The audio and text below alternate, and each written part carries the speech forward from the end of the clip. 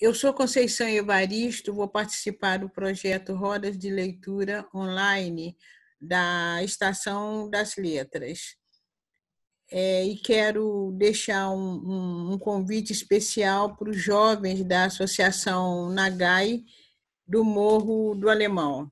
Eu sei que vocês é, estão lendo o livro Olhos d'Água, que é esse aqui, esse livro é uma coleção de contos. Como, nasce, como nasceram esses contos? Muitos é, desses contos são histórias que eu escutei e que eu fui é, modificando ao longo da escrita.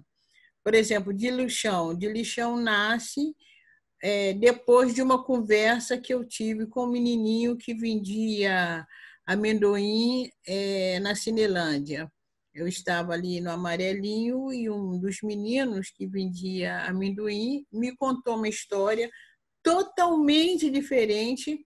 Eu me inspiro mais é, no próprio porte da criança, que me contava a história, a maneira como ele me contava uma situação que ele estava vivendo. Então, é, é um livro que nasce muito é, da observação.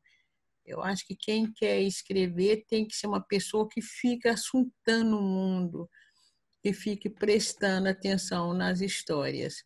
E com certeza, eu tenho certeza que muitos de vocês têm muitas histórias para contarem.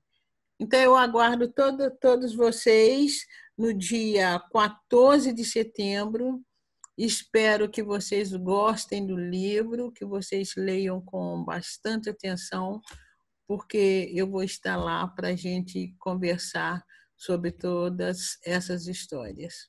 Obrigada.